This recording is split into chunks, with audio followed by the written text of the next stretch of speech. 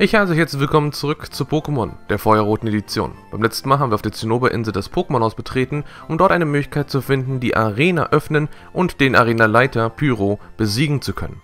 Nachdem wir das Ganze abgeschlossen haben, haben wir zum Ende hin noch diese eine Person, die an dem Tisch sitzt, und zwar die da drüben, angetroffen und das ist Bill, den haben wir am Anfang des Spiels getroffen, als er ein Pipi war und wir ihn wieder zurückverwandeln mussten. Dieser hat auf jeden Fall uns eine Einladung gegeben auf eine Reise zu den Island-Inseln. Ich persönlich hatte bisher nicht wirklich, bis, wenn überhaupt, was mit diesen Island-Inseln zu tun und habe mich dementsprechend mal so ein bisschen schlau gemacht. Und ich sag's mal so, wir werden das Ganze komplett ignorieren und überspringen. Und zwar der Witz ist, die Island-Inseln gehen, wenn man da zum ersten Mal hingeht, von Island-Insel 1, 2 und 3. Und da wird man so die unterschiedlichen Punkte antreffen. Vieles ist noch nicht freigeschalten, aber man hat da die Möglichkeit, ein legendäres Pokémon zu fangen. Und da ist hier eine Änderung von den Originalen jetzt zur dritten Generation mit Feuerrot und Blattgrün. Und zwar ursprünglich konnte man auf einem einfacheren Weg diesen legendären Gegner treffen. Und jetzt haben sie es hier angepasst, haben den von dem ursprünglichen Ort weggenommen, haben ihn dann dorthin platziert und man hätte da die Möglichkeit ranzukommen. Ebenfalls gibt es ein VM namens Zertrümmerer, das man da hätte finden können. Jedoch, wir werden, wie gesagt, so überhaupt nicht uns darauf konzentrieren. Einerseits, weil wir den Zertrümmerer für die Zukunft der Story nicht brauchen und weil wir keine weiteren Pokémon fangen wollen. Also für diejenigen, die das Ganze in Wirklichkeit in normale Art und Weise spielen, wo man sagt, man fängt wirklich viele unterschiedliche Pokémon, dann wäre es natürlich ideal, wenn man da sagt, hey, da ist ein legendäres Pokémon, das fängt man sich. Ebenfalls wichtig ist, wenn man diese ersten drei Inseln abgeschlossen hat und dann das Spiel abschließt, schaltet man noch sieben weitere Inseln diesbezüglich frei und da gibt es dann halt sowas wie einen Strand, den kann man täglich oder auf ähnliche Art und Weise besuchen und wenn man den Detektor einsetzt, hat man die Möglichkeit, da regelmäßig neue Items finden zu können. Hooray! Es ist nett, aber nicht wirklich wichtig.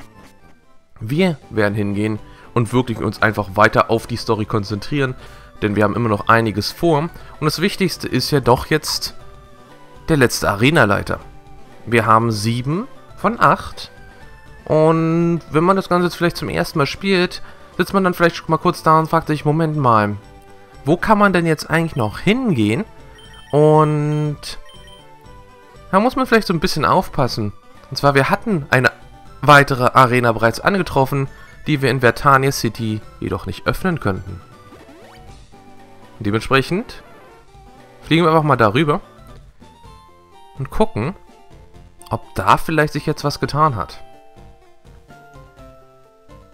Kein alter Mann, der uns irgendwie... Okay, der ist jetzt da in aller Ruhe dort. So, was hast du denn zu sagen? Der Arenaleiter von Vertania City ist zurück. Oh ho. Und damit haben wir die Möglichkeit freigeschalten, den letzten Arenaleiter machen zu können. Alright, wen haben wir denn hier? Hey, warte du Champion Spee. Nicht einmal ich kenne die Identität des Arenaleiters von Vertania City. Soweit ich weiß, ist er von allen Arenaleitern der gefährlichste. Die Trainer hier setzen gerne Boden-Pokémon ein. Ha, Boden. Das ist ein Typ, der uns dann doch so ein bisschen vielleicht bekannt vorkommen sollte. Zugegeben, auf normale Art und Weise trifft man die jetzt nicht so häufig an. Und ja, da guckt man sich hier so ein bisschen um. Sieht wieder diese Pfeile. Und wundert sich dann doch vielleicht schon so ein kleines bisschen, wer hier wirklich auf einen zukommt. Hm. Hehe, hey, so langsam geht dir die Luft aus. Du bist der erste Trainer, gegen den wir hier kämpfen. Und das ist ein Ass-Trainer. Hideo, hey, Zidio, 5 Pokémon. Und er startet mit einem Sandama. Hm. Zugegeben, ich habe dann nicht das richtige Pokémon am Start. Aber es ist ja nicht so, als sollten wir hier relativ gut mit dabei sein, selbst wenn wir keinen Typenvorteil haben. Ja, sehr gut. So, Georock. Dann gehen wir natürlich jetzt hin, werden das Ganze relativ clever anpassen. Denn ich denke, es ist relativ offensichtlich, dass das eine weitere Arena für Wasser-Pokémon ist. Klar, Pflanze kann man ebenfalls nutzen, sowie Eis, aber das ist hier ganz klar die Stelle für Rally Over, um nochmal zu demonstrieren, wie gut es tatsächlich als Pokémon sein kann. So, und das Schöne ist, dadurch, dass sie halt an die Arena gebunden sind, müssen sie halt hier diesen ganzen Spaß mitmachen. Und bringen ein weiteres Boden- bzw. Gesteins-Pokémon mit sich. Hooray!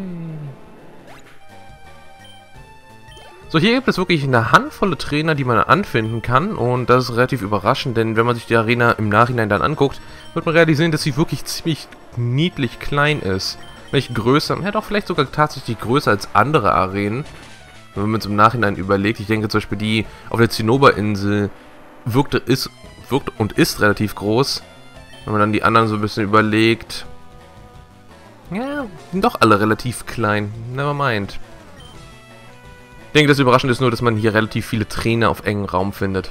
Aber die Arena selbst ist doch relativ groß. So, natürlich, ich denke, man sieht es hier sehr, sehr gut. Und zwar, wir haben unsere Pokémon auf Level 50 hochgebracht. Das ist natürlich für uns relativ angenehm. Wir gehen die Pokémon aus. Da ist ein gewisser Unterschied am Start, aber auch hier muss man wieder anmerken, die Trainer, die man am Anfang dieser Arena antrifft, sind um einiges schwächer als die zum Ende hin. Und dementsprechend habe ich mich hier schon mal so ein bisschen darauf vorbereitet. So, als nächstes haben wir einen Schwarzgurt vor uns. Ich denke, da können wir ruhig mit dem Pokémon bleiben, das wir ursprünglich haben. Ja, mit diesem Kampfschrei mobilisiere ich meine Kräfte. Okay. Mal gucken, wie lange deine Kräfte aushalten werden mit zwei Pokémon. Okay. Das ist ein bisschen interessant zu sehen. Denn er startet mit... Okay, weiterhin eine Macholo. Das ist dementsprechend alles in Ordnung. Und ich probiere mal Konfusion. Mal gucken, wie viel Schaden Konfusion hier weiterhin anrichtet.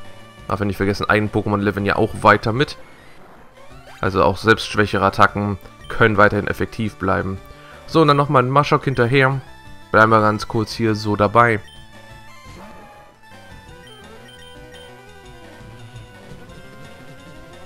Wer vielleicht ein bisschen aufgepasst hat, hat gesehen gehabt, dass zum Beispiel unser Ibitak nicht auf Level 50 war. Und das liegt einfach daran, dass ich für die Zukunft nicht geplant habe, es weiter zu nutzen. Hiroshi wurde damit auch besiegt, sehr gut.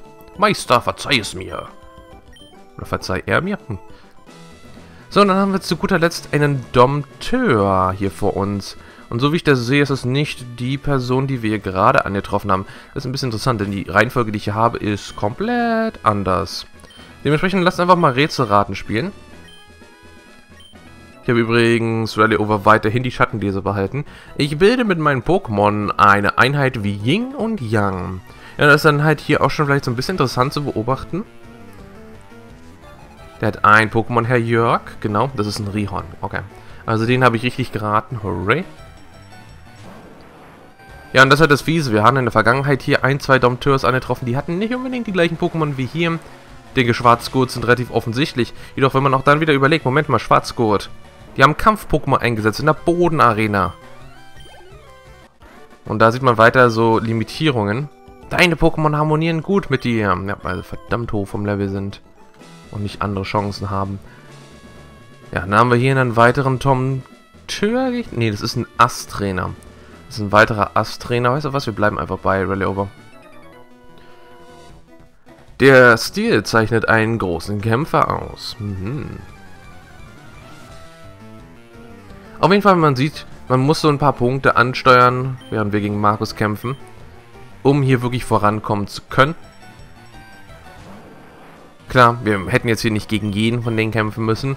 Jedoch muss ich ganz ehrlich auch gleichzeitig wiederum zugeben, ich möchte doch äh, so viel XP noch mitnehmen wie wirklich möglich, denn wir brauchen einiges in der Zukunft noch. Entsprechend Jetzt hier auf Level 50 hier äh, offscreen schon hochzuleveln war niedlich. Aber ich muss doch bei Weitem mehr für die Zukunft investieren. Dementsprechend halt hier jeden extra Punkt, jedes extra Level zu bekommen, ist sehr, sehr angenehm. Auf jeden Fall. Es gibt hier so ein, zwei Ausnahmen, was Pokémon betrifft, die sie in den Kampf werfen. Was ist immer so ein bisschen fies. Einerseits sagt man, hey, warum sind wirklich alle von diesem einen Typ? Das macht es zum Teil ja zu einfach. Andererseits ist es natürlich dann aber auch wieder nervig, wenn sie dann einerseits sagen, wir sind alle Boden-Pokémon, andererseits dann aber keine Boden-Pokémon am Start bringen. Und das ist einfach so ein bisschen die Krux. Und da sehen wir zum Beispiel Nidorina. Das heißt also, wir haben hier ein Gift-Pokémon vor uns. Ich glaube, ist es Gift Boden oder ist es rein Gift? Ich meine, die ersten Entwicklungen sind rein Gift. Ich glaube, das ändert sich auch nicht. Ja, man sieht auf jeden Fall auch noch weiterhin weiter so im 38-39er Bereich, aber der Arenaleiter macht nochmal einen großen Satz. Dementsprechend geht das hier durchaus in Ordnung. Obwohl man hier sogar in der Arena sagen könnte, dass es ebenfalls in Ordnung gegangen wäre, nicht seine Pokémon allzu stark zu leveln. Einfach weil Boden-Pokémon in den meisten Fällen relativ langsam sind. Klar, ich denke, Gestein ist nochmal so eine Ecken schlimmer. Aber ich bin mir relativ sicher, dass Boden-Pokémon so ein bisschen davon leben, eher so die Juggernauts zu sein. Und ich hier auch ganz bewusst stärker Dagger eingesetzt nochmal. Ich habe den Halt verloren. So, auf jeden Fall, wir sehen, wir können da, von dort unten uns da hocharbeiten. Müssen aber hier erstmal den dort wegbewegen. Ich bin der Karatekönig, ich besiege dein Schicksal. Besiegle, nicht besiege dein Schicksal. Natürlich. Gleichzeitig darf man nicht vergessen, wenn man gegen einen Trainer kämpft, der sich bewegt hat, den Bereich verlässt und wieder betritt, dann wird er zurückgesetzt an den ursprünglichen Punkt. Und ich realisiere, ich hätte hier das Pokémon anpassen sollen. Und dann würde man natürlich sagen, Moment mal, wenn der jetzt hier nach vorne gezogen werden müsste, damit er, dass wir da lang kommen. Was passiert, wenn der zurückgesetzt wird? Man geht einfach den Weg, den man gerade gegangen ist, und dann könnte man den Weg einfach darüber gehen. Das ist eigentlich relativ simpel gehalten. Man muss aber vielleicht erstmal realisieren. So, lass uns hier so ein bisschen wieder durchwechseln. Wir sind zwar stark genug, dass wir nicht unbedingt auf Typenvorteile achten sollten, oder müssten. Aber ich denke, das ist auch so ein bisschen der Witz dahinter. So, wir haben eine Situation mit Boden-Pokémon und zwar die sind anfällig gegenüber Eis und das könnte man hier relativ interessant lösen. Gehen wir nochmal einen Maschok. Ja, bleib erstmal so. Und zwar, wir haben zwei Pokémon, mindestens zwei, sagen wir mal so, die mit Eisattacken agieren könnten. Vielleicht werde ich sogar überlegen oder gucken, ob man vielleicht nicht sogar noch ein weiteres sucht. Und zwar, wir haben Einerseits Rally Over. Er ist als Wasser-Pokémon in der Lage, Eisattacken zu erlernen. Meine ich. Ich, ich hänge mal wirklich das meine ich hinten dran. Denn das war eigentlich meine Idee für die Zukunft. Aber derjenige, der aktuell wirklich schon Eisattacken kann, ist Weißbrot, unser Dratini. Und Eugene haben wir besiegt. Ah! So, und jetzt will ich eigentlich mal gucken. So, wir können, wie gesagt, jetzt da oben lang gehen. Falls er zurückgesetzt wird, kommt, nimmt man den Weg, den wir hier gerade gegangen sind. Ich würde aber trotzdem ganz gerne gucken, ob man vielleicht nicht noch den ein oder anderen hier umhaut. Zum Beispiel da unten haben wir nochmal einen. Ich weiß gar nicht, was der genau ist. Sah aus wie ein Dompteur, könnte aber täuschen. Wenn das nämlich der Dompteur ist, den ich erwarte. Dann... Oh, wieder hier Kadabra, genau.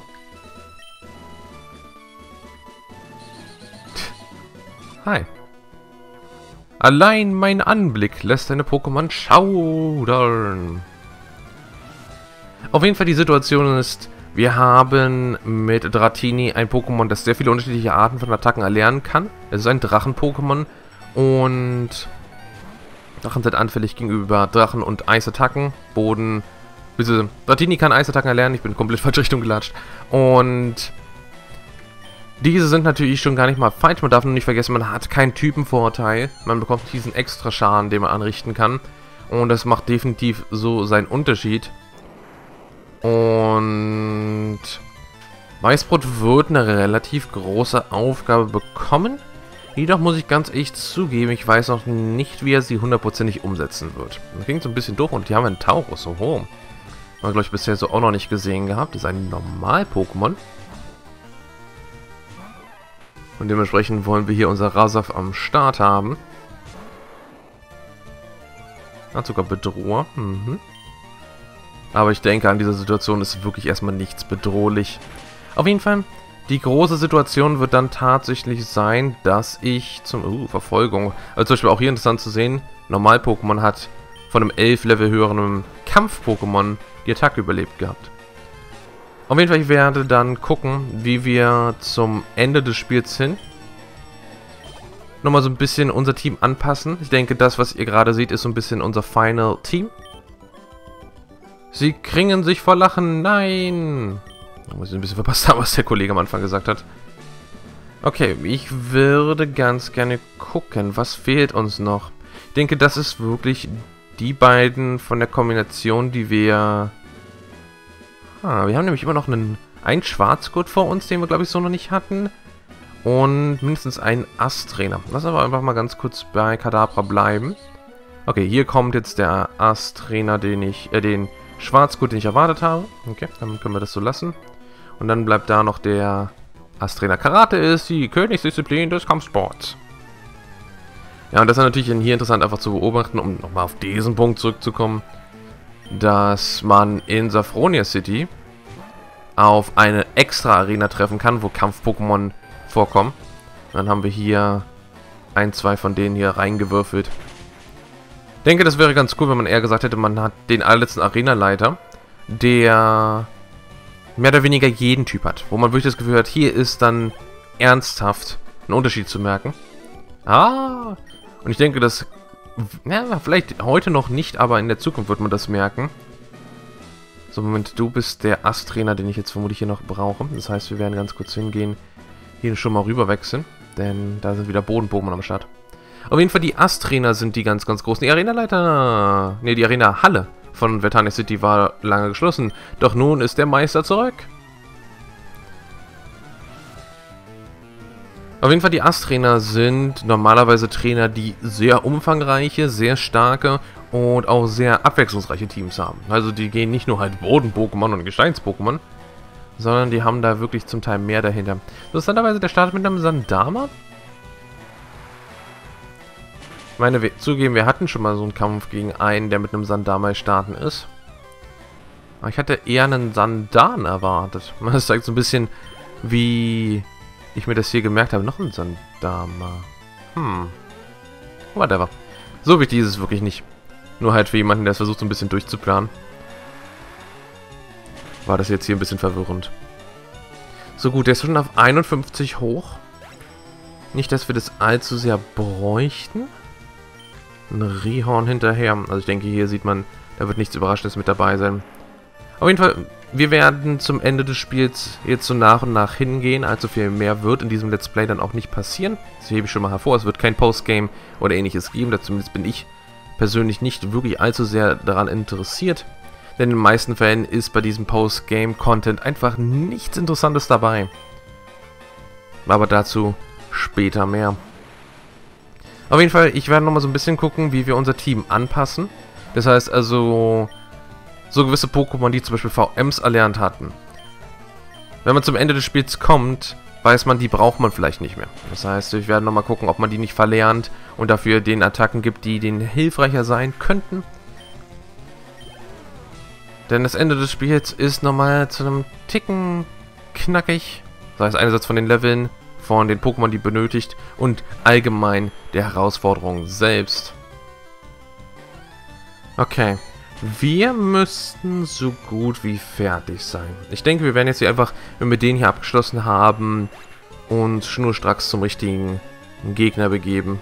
Und zwar die Marinaleiter. Ich wurde besiegt. So, um jetzt hier zu dem eigentlichen Punkt zu kommen, gehen wir hier wieder zurück.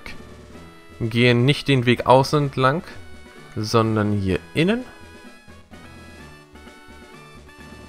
Und dann haben wir da auch schon die Möglichkeit zu Giovanni zu kommen. So, lassen wir ganz kurz gucken nochmal. Genau. Er kommt uns doch bekannt vor. Haha, willkommen in meinem Geheimversteck. Hier wollte ich das Team Rocket wieder auferstehen lassen, aber du hast mich schon wieder aufgespürt. Also gut, dieses Mal kenne ich keine Gnade. Ich, Giovanni, der größte aller Trainer, fordere Revanche. Okay, zugegeben, wir sind hier gegangen, um den Arena-Leiter Orden zu bekommen und nicht um ihn erneut so gesehen zu stoppen. Aber hey, wenn man hier zwei Fliegen mit einer Klappe schlagen kann, warum nicht? Gut. Er hat Boden-Pokémon. Ich denke, das haben wir in der Vergangenheit schon so ein bisschen mitbekommen. Und dementsprechend, man könnte eventuell die Verbindung ziehen. Auch, wo man auch sagen müsste, man hat keinen Grund, diese Verbindung zu ziehen. Ist nicht so, dass man sagt, oh ja, ich habe das jetzt da hier und jetzt habe ich da irgendwelche Vorteile draus. Ah, ah. Man sagt, okay, ich habe jetzt hier sieben Nasen, die einem nichts gesagt haben, auf die Nase gehauen. Mit Ausnahme vielleicht von Rocco und Misty, die man halt aus den Serien kennt. Aber das zählt in der Hinsicht ja auch nicht. Aber wir treffen hier auch viele Pokémon, die in der Vergangenheit schon hatte, mit ein, zwei Ausnahmen. Und das persönlich sehr, sehr interessant finde.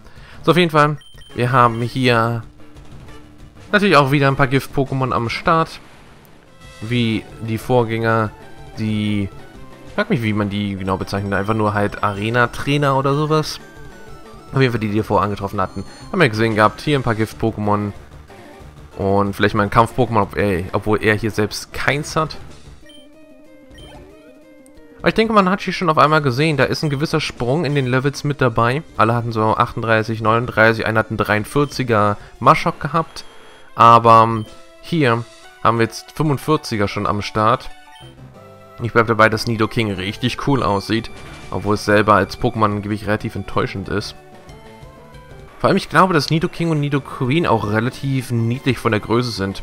Denn wenn man die so ein bisschen sieht, man denkt wirklich, die sind halt extremst groß und glaubt, die brechen, ich meine, zugeben, ein 1,50 Meter großes Vieh auf diese Art und Weise ist vermutlich trotzdem beängstigend, gerade wenn man normale Tiere damit vergleicht, aber man denkt trotzdem, vielleicht ist so ein 2 Meter Klotz oder ähnliches. Nicht der Fall.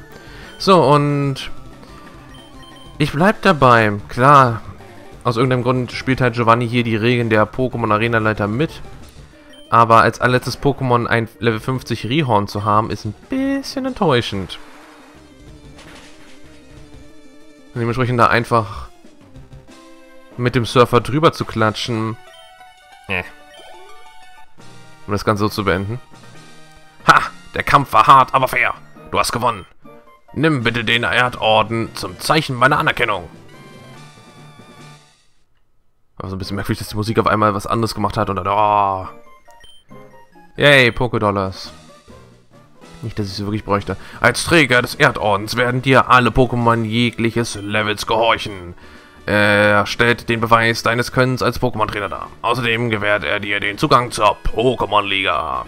Nimm dieses Geschenk mit in dein Pokémon-Liga-Abenteuer. Super beschrieben. So, das ist Erdbeben. Eine sehr starke Attacke, die ein starkes Beben verursacht. Ich habe sie vor langer Zeit geschaffen, als ich hier noch Arenaleiter war. Aber du bist doch hier Arenaleiter.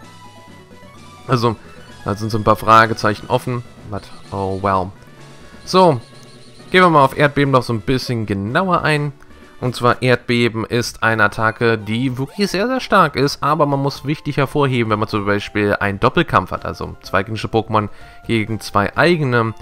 Das eigene Pokémon kann ebenfalls von Erdbeben getroffen werden. Und das ist etwas, was man vielleicht mit in die Taktik einbauen sollte. Das heißt ja zum Beispiel, ein Flug-Pokémon würde von Erdbeben nicht getroffen werden und ist dann halt in der Hinsicht sehr, sehr cool. Gut, wir haben eine Sache für heute noch vor uns. Und zwar erinnert ihr euch an Anfang die Route 22? Da hatten wir angemerkt, hey, da ist Hugo. Den konnte man da mit seinem Taubsi und seinem Bisasam antreffen. Und wenn wir jetzt dorthin gehen, werden wir ihn erneut antreffen. Und ich sag's mal so, den sollte man nicht unterschätzen. Gut, wir haben zwei Sachen aber noch vor uns. Und zwar, wir brauchten Level 49, um Schattenmensch bzw. Fukano mit einem Feuerstein weiterentwickeln zu können. Und dementsprechend werden wir das jetzt auch machen. Er hat keine weitere Attacke, die er erlernen kann. Er hat Flammenwurf mittlerweile erlernt. Und dementsprechend, na, da haben wir schon gesehen, wie die Weiterentwicklung aussieht. Aber sie ist meines Erachtens weiterhin eine sehr, sehr coole.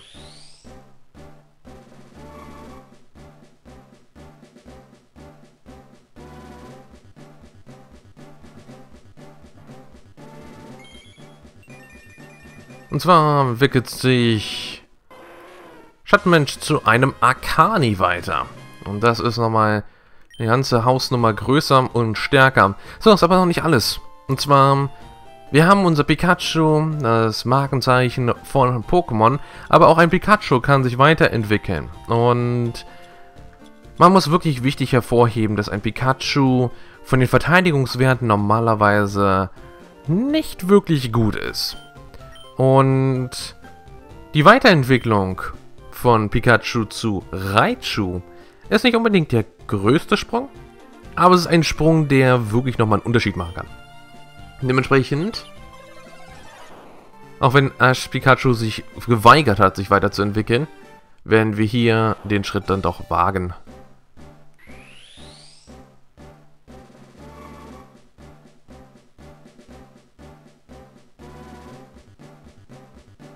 Ich persönlich finde Raichu eigentlich ein sehr, sehr cooles Pokémon. Und finde es immer schade, wenn Leute eher negativ von ihm angetan sind. Und damit haben wir unser Raichu. Sehr cool. So, und ich sag's auch schon mal so, das brauchen wir auch sofort. Sofort an die erste Stelle mit dir. Und zwar, wir werden uns heute zu allerletzt, zu guter Letzt, dann noch zur Route 22 begeben. Alright. Wir gehen mit dem nächsten Teil wirklich zum Ende des Spiels über. Was, Robert? Was für eine Überraschung! Du bist also auch auf dem Weg zur Pokémon-Liga, oder? Du bist jetzt auch alle Orten? Das ist cool, ich habe 10. Robert, ich werde mich für, deine, für die Pokémon-Liga aufwärmen, indem ich dich besiege. Also, los geht's. Mhm. Dann mach mal. So, Rivale Hugo kommt als allererstes mit einem Tau-Boss. Das ist wirklich das Pokémon Nummer 2 an seiner Seite. Und ja, wir setzen Sonderblitz ganz simpel ein, aber ruckzuck gibt Erzschlag Garantie. Ungesund, unangenehm. Aber ich hoffe, dass wir stark genug sind gegen seinen Level 47 Tau-Boss. Und ich denke, spätestens hier wird man dann relativ schnell realisieren, oh oh, man sollte definitiv schon anfangen, so ein bisschen mitzuleveln. So, als nächstes kommt ein Rihorn. Da wollen wir definitiv wieder rüber wechseln. Ich denke, hier ist keine Überraschung zu was.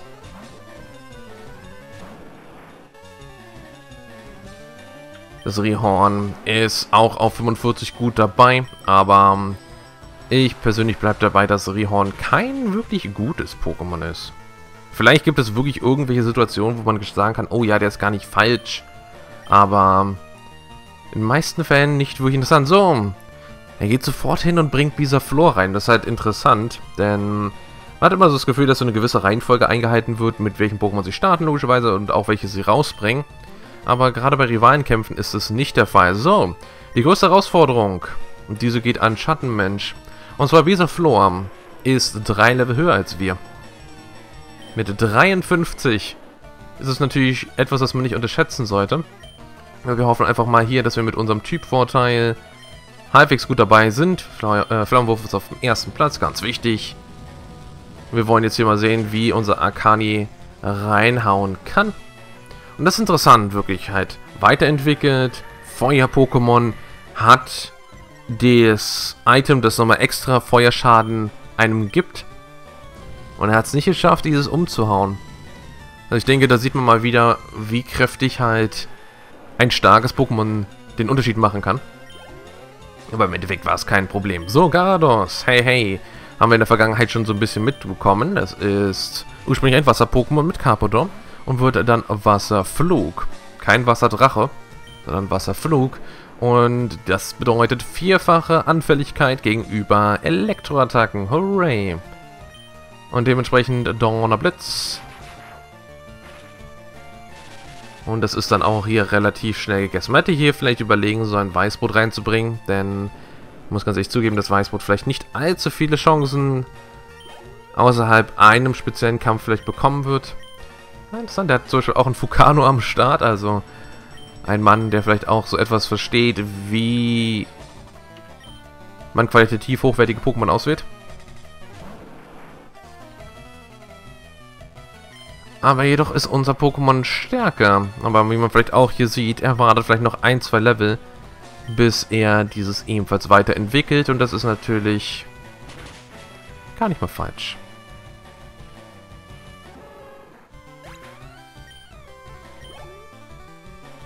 Und zu guter Letzt Simsala. Simsala wird vielleicht ein bisschen unangenehm. Denn weiterhin, wir haben keinen wirklichen Typenvorteil an und für sich. Das heißt also, wir werden mit dem arbeiten, was wir haben können. Und das ist zum Beispiel How Nice. Da sehen wir eine seltene, aber sehr, sehr coole Möglichkeit. Und zwar mit Biss kann man Gegner zurückschrecken lassen, was dazu führt, dass sie nicht angreifen können. Und gerade bei Simsala, ein Pokémon, vor dem ich einfach grundlegend Respekt habe, weil es einfach super duper stark ist, ist es natürlich sehr ideal. Was? Ich war zuvor unvorsichtig. Ja. Das war eine gute Aufwär ein gutes Aufwärmtraining. Ich bin gut auf die Pokémon-Liga vorbereitet. Robert, auch wenn du gewonnen hast, musst du mehr trainieren. Ich glaube, du bist dir dessen bewusst. Bis dann. Bye, bye. Ja, und da hat er definitiv einen wichtigen Punkt angebracht. Die Pokémon-Liga selbst ist nochmal ein Ticken knackiger. Und darauf werden wir uns dann noch vorbereiten. Aber für heute kommen wir jetzt zum Ende. Ich hoffe, es hat euch gefallen. Ich verabschiede mich und bis dann.